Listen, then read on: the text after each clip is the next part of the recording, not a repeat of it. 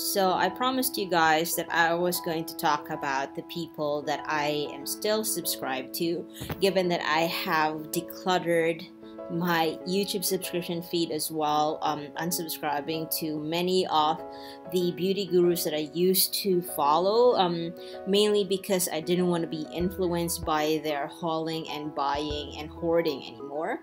So I thought I'd show you guys who I am currently subscribed to. So the first one here is Ira Morena TV, and this is in alphabetical order, by the way. Now, Ira has been um, on YouTube for a while. She's a Filipina as well who's based in the States. Um, she hasn't actually been putting up any more um, videos for a while, and I think I kind of understand where she's coming from. Um, she did do a video before updating um, her subscribers on why um, she is feeling like she wants to quit YouTube, and I kind of understand her. And um, yeah, so she hasn't been putting up any more videos, but if she does, I definitely go and watch it. Next, we have here Alana Davidson. Um, she's a Canadian beauty blogger and sort of fashion and lifestyle as well. And I really love her personality. Um, she's not one of those YouTubers who's out there to um, sort of like get money and influence people and you know get brands to sponsor or anything like that. She's pretty honest with what she thinks about products. Um, she buys a lot of her um, fashion finds as well. She just can't send um, PR products. And I remember watching her before she even hit 100,000 and now she's at 437,000. Um, so really like her personality. I like how straightforward she is. I like how honest she is. And I like how she's like a no frills kind of girl. She's not a girly girl uh, like, you know, all of these like bubbly, crazy YouTubers, but uh, I really like her personality. Um, then you've got Beauty News, who are um, a duo of Australian bloggers, um, and they shot into stardom after they started destroying makeup on their channel. I subscribe to both Haley and Kat on their um, on their own channels, but I also am subscribed to their um, to their channel Beauty News. And mostly they talk about what's coming out in the beauty industry. Um, and what sometimes they do reviews as well. They talk about why they won't or will buy certain products and what I think about new releases and stuff like that. Uh, like I said, their more popular videos is when they destroy makeup products, especially like high end ones that are hard to get to yeah. But um, just a disclaimer after they destroy those products they also repress them so that um, they can still use them. It nothing gets wasted. Okay Brianna Fox is one of those YouTubers that I never really thought I would like and I would watch, but this girl is freaking talented when it comes to makeup. I love her tutorials. She is probably the only YouTuber that I watch for her tutorials because she is so knowledgeable and she yeah, really just really talented. I don't know what else to say, honestly. And then you got there Caroline Hirons, who's got that dry, sarcastic British sense of humor when she talks about products. And when I watch her videos, I feel like I'm really talking to her in person and not um, not just watching a video. Her her sarcastic um, humor just really gets me, and I just start laughing out loud whenever I watch her. And I like her. She's a mom of four, I believe, uh, four grown kids. Um, I think her youngest is like 11. Um, and she is like the skincare guru of all skincare gurus. Um, and which is why i love her. I never would have thought of um, using acids and retinols and stuff like that on my skin because i'd be too afraid but she explains it on her blog like nobody's business. Kristen kobzev. Okay um, i really like her her aesthetic when it comes to um, decorating her house her diys her um, essentially everything about her her channel is goals. Um, her lifestyle i believe if she's not vegan she is vegetarian. Um, she goes for cruelty free products as well and I, I really like her. She is not your typical beauty guru. I would say she's more of a lifestyle person than anything else, and I love her um, outlook on minimalism and decluttering your life as well, wherein she doesn't really get rid of everything. Well, she still allows herself some wants instead of just necessities, but it, it really is great. She she's a great person, I think. Dustin Hunter. If you have not heard of Dustin Hunter or heard Dustin Hunter um, talk on his videos, he sounds so soothing. Like I don't even want need to watch him. I just have to listen to him and I feel relaxed. Not in a way that because he's boring or he makes me feel asleep or anything like that. It's just something is so soothing about his voice. He's also very honest and he's really not bad to look at either. So, yeah, one of the reasons why I watch him too. Emily Noel. Now, I've been subscribed to Emily since I've started subscribing to YouTube, which was back in 2008, 2009, I think. She's awesome. She used to be a broadcast journalist, she used to read the news. Um, but now she has got um, I think she's more like a stay home stay at home mom now to her two kids Belle and Eve and they are gorgeous little girls um, and her lawyer husband Tyler. Now she is honest not brutally honest but honest and she tells you how she sees it. Um, she's very articulate and eloquent. That's why I really really like listening to her. She is awesome. Um, she's been in on YouTube for a long time. I'm surprised she hasn't hit a million yet. But well, at least by the time of this video comes up, she hasn't hit a million yet. But she is probably one of the most honest people on YouTube. And she doesn't like sell her personality just so she could get free stuff. That's what I like about her. Everyday Heidi. Now, Everyday Heidi is a fun Latina mom, um, and I really like her she her smile is so great. Plus her skin tone is very similar to mine. That's why i like watching her because i know that whatever works for her will work for me. She's also quite honest. She's got declutter videos. She's got um she's got videos about drugstore products beating high-end products and stuff like that that i really enjoy watching.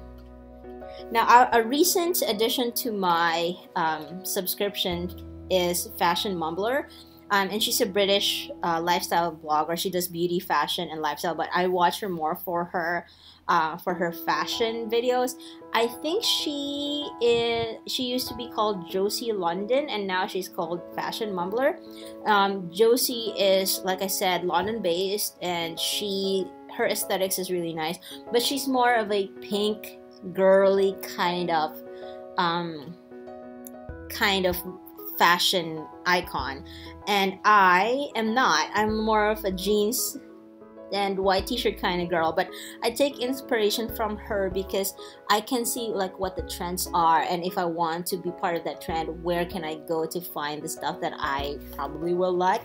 And it also helps me to experiment on certain looks. There you go.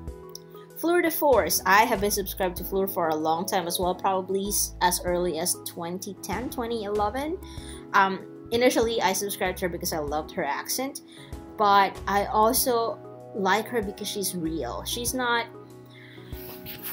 she's not one of those bloggers who's really out there to make money and well obviously she want she she this is her full-time job but she's not somebody who really is focused on making money but she's more on making great content which is what i like about her Guru Beauty, okay, uh, Jody, is from Western Australia, and I initially subscribed to her because I was living in the same city that she was living in back in Perth. Um, when I was there in 2012. I have actually met her in person one time. I bumped into her at David Jones, and she's a really lovely person. And she was so happy when I approached her um, to introduce myself and say that I am subscribed to her because she's awesome. Um, yeah, so I, I really like her. I like her reviews. She does more of um of high-end products, which at this point I'm not really that into anymore, but I still watch her. Her accent is a little bit different because she has spent a lot of time in the States, but also um is now based in Australia, so she's got a mixed accent for, of some sort. So um, and the other thing is she also used to do or she still does uh, huge like us hauls which at the time i really liked doing because there weren't a lot of options here in australia. And even if there were they were like horrendously expensive. So she kind of taught me how to um, buy products from the states and get them shipped over here to australia without breaking the bank. I covet thee or alex is a lifestyle blogger as well and I love her her accent. She's so pretty as well and she is more um, I wouldn't say that she's petite. She's actually quite tall and a little bit on the curvy side which is what I love about her because she loves her body and she's not shy about it. And she accepts she's not she's not chubby or anything like that. Not even probably curvy but just she's big bone is what I would say. Yeah but she i feel like she's so real and she's so relatable. And right now she's going through a tough time so if you could go guys and give her some love um, that'll be really appreciated. Jacqueline levine uh yes jacqueline. I love her. I, I found her um, after watching a few of kimberly clark's videos she was a recommended um, she came through my recommended feed and i've been watching her since then her voice like Dustin Hunter is so soothing but she's also so real. She's not afraid to let go of the f-bomb um, on her channel if it's required because she's she's honest that way. Y'all. Okay. Um jamie genevieve. Jamie is a scottish um, blogger. She is based in glasgow and um, I love her. I love her like aesthetic. She is so good at her makeup. Um, she's also filled with tattoos. She's also very confident about her body. She's also very confident about herself, and I love that. I love how she is so talented and so young and so entrepreneurial, and how she's so honest about what's going on in her life. Kate La Vie is another Scottish blogger. Now, I'm not sure if Kate is from Glasgow or from Edinburgh but I like her. She is like Instagram goals, like her feed on Instagram, her um, her interiors at home and at the new shop that they're opening is goals. I swear. So I I mean I don't know why she only has 148,000 um, subscribers because she is awesome. And like if you go onto Pinterest, probably a lot of the interior and fashion posts on there has been taken from her blog because she is awesome. Now, Keto Connect, you guys know that I have been on the keto diet on and off for the last year. And these two, Matt and Megha, are the two of the ones that I relate to the most. Um, and they're pretty good. They do like food blogs and they do experiments uh, and recipes on their channel which are easy to make and they make it in their own kitchen which means that you're not required to have all of those high-tech um, expensive equipment to be able to do that stuff so yeah definitely uh, I, I watch these two and their interaction with each other is so fun Kimberly Clark. Who doesn't know Kimberly Clark? I remember watching Kimberly Clark when she was probably on the 12,000 mark, she came out with this anti-haul videos, which admittedly isn't an original concept of hers, but um, it blew up all over YouTube because of how she um, delivers it. She used hyperbole, which is like an exaggerated way of discussing things, and she is so awesome. I love her. She's a drag queen. Um, and she's very talented. She sings, she plays music um, but she is originally a graphic designer. So there you go. Um, Kitch Snitch is one of the duo from Beauty News, or Cat. She's a Melbourne based blogger, and what can I say? I really like her, and I like her honesty and brutality when it comes to um, when it comes to making reviews. And if I remember correctly, Kat is a lawyer, like, or she practices the legal profession. Um, I don't know if she's still doing that now, but I remember watching one of her videos and she said that that was actually what she did as as a full time job. Kristen Game. I love Kristen Games. Um, it's game time. she is so honest, she is so refreshing. Um, and she's not one of your young and youthful, bubbly personalities, which is what why I love her. She has a full-time job, she travels for work, she and she keeps it real. She's not one of those like hoarder hoarders and she knows what she wants and she keeps it she keeps it that way then there is Lily Pebbles. Um, I love Lily as well. Sometimes I find her a little bit annoying when she moans and complains about stuff on her vlogs. Um, but she still is a great uh, person to watch and she does a lot of beauty videos and fashion videos as well. She used to have what what was the name of her blog before? What I Love I forget what it is, but now it's called Lily Pebbles. Liv loves her makeup. My good friend Liv right there, Olivia Solen. Um, if you haven't heard of her, I don't know where you've been living. Um, I remember starting being friends with Liv when she only had under 3,000 subscribers, and now she's blown up to almost 75,000 subscribers. So, congrats, Liv. That is awesome. Um, she is a real person. She is a very talented flutist, um, and that's her full time job. She also teaches uh, music.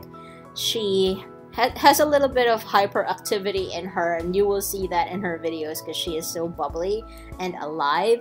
Um, and she is battling through some health issues at the same time, but you would never know it because her personality just shines through. Okay, Lucia Tepper is a new addition to my um, to my feed because I've only ever seen her probably about a month now. Um, and she is all about um, conscious consumerism, panning, um, and I love her for her video series Make Up Your Mind um, and things that she has made up her mind up about makeup. So there you go. So Lucia is an honest, honest person, and I love her, and she like gives it to the brands when they need it to be given to them, if you know what I mean. Okay. Makeup by Amy Michelle. I was introduced to um, to Amy by Liv, um, and we've done collaborations in the past as well. She is also one of those um, one of those bloggers who like to review products, and she's honest about them because one she um, she pays for her own products. She gets sent a few PR here and there, but um, mo- for most of them, she buys them for herself. She reviews them and she gives an honest review because she's not afraid to say it as she sees it. Makeup TIA, or that is all, Ashley here is an awesome girl. I love her embracing her paleness and her red hair and all that. She's such a sweet person that when I listen to her um, talk on videos, I'm like, wow she is so soothing, so relaxing, and I love her minimalistic approach to makeup. Model recommends is a British model Ruth Crilly, and she like she was a fashion model, like she walked the runway. Um, so she knows her stuff, and she knows especially her her high end stuff that I could never afford and will never pay for. But I just love her um, her sense of humor. She actually studied law in uni, she's a really, really smart girl and um, was a fashion model on the side. Like, that's how she made her money to get her through to school um, for law. Now, I'm not sure if she actually finished law, but yeah, she's really smart. And I love her, and her sense of humor is also so quite funny. And um, she she blames her her um, mistakes for her mommy brain because she has uh, she's got now two kids, Angelica and Ted who are both quite cute kids. Mr. Ken Dennis. Ken is a Filipino turned Australian who grew up in Hong Kong. Um, it's, it's, it's, a little bit complicated and is now based in Melbourne. Um, he's been doing um, makeup since 2010 and I really like him. He's an awesome person. He's very down to earth, very friendly. I've never actually met him in person. We were supposed to meet up one time when he came over here to Sydney. However, that was also the same time that Duncan was here, so I didn't really get the chance to meet up with him because obviously I was going to put Duncan as a priority. So yeah, Mr. Ken Dennis, really liking him. He does um, brand reviews, he does beauty videos, um, he also vlogs once a week. Only Yumol, uh, yes. Now, she is a Filipina who is based in the States, quite young. Um, Nikki, I think, yeah, Nikki.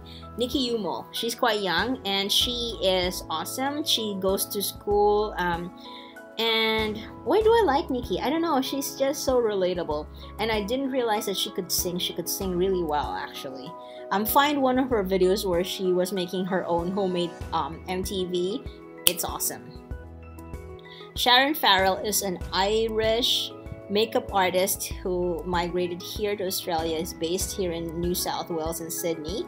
Um, and she's awesome. She's very, very talented. She's currently pregnant, but you wouldn't know it because she still turns out her videos like normal. She's very professional, and I really, really like her. Stephanie Nicole, who doesn't know Stephanie Nicole, Stephanie is probably the most reliable beauty vlogger I have ever been subscribed to. Sure, her videos can be quite long, like 40 minutes long, but she is very informative. She's very educated about what she says. She does her research. Um, she puts on swatches both um, for her fair skin and asks her friend Ripley to swatch for um, people of color. Um, and she's very inclusive and she I don't know, she's just really honest and down to earth. And even though she has now 500,000 subscribers, it doesn't bother her. Oh, and I love how she responds to Instagram comments when people are being nasty. She's not afraid to call them out. The Anna Edit, probably, if not, my favorite YouTuber of all time. Anna or Viviana does makeup. She used to be called, and now it's just Anna. It used to be Anna Gardner. Now she's married, so she's Anna Newton. Um, I just love her. She's so simple. She's always got a smile on her face. I love her relationship with her husband Mark. Um, they are so relatable. She is so relatable. A lot of the stuff that she recommends, I really like. Um, yeah, I don't know how how else to say it, but I just really like Anna. There's something about her that I feel like if I met her in person and we got the chance to chat, we'd be friends. Like we would get along. The Social Network. The Social Network is a Filipino um, channel, and they it's composed of three um, three women who met in law school. Um, one is called Camille, who is provinciated there is Faye who is sophisticated, and there is Vivian who is domesticated. And they um, prepare skits and they are really fun, really good, educated women, lawyers uh, back home. Oh, and then I did meet them in person, did a collab with them. They are so freaking nice and so like real. I don't know how else to say it. Vintage or tacky, Cora is a plus size woman who loves herself and her body. He's, she's very talented with her makeup and probably one of the first few um, YouTubers as well that I have been subscribed to since 2010, maybe 2009. I really, really like her. And I love how she expresses herself with the color of her hair as well. Zabrina, finally, we get to the last one um, the series that I love from Sabrina is her Friday um, Frugals, which is where she tries drugstore makeup. Um, and she's very talented as well. I really, really like her. She's very honest, um, very articulate, and very informative. She is very detailed in, uh, in her reviews as well. So there you go. Those are all of the people that I am still subscribed to here on YouTube no one else. I have not been watching anyone else, and which is probably good because my bank account has been quite thankful for the fact that I have not been spending money on any more makeup because I have enough. So, guys, thank you very much for watching, and I appreciate it. If you like this video, do give me a thumbs up. Subscribe if you haven't already, and let me know in the comment section down below if any of the people that I'm subscribed to are also people that are your favorites. And if not, okay let me know who your favorites are and i will check them out as well. So here's just me scrolling down um, so you can see them again for one more time. There you go. And i hope you guys have a beautiful weekend ahead. Bye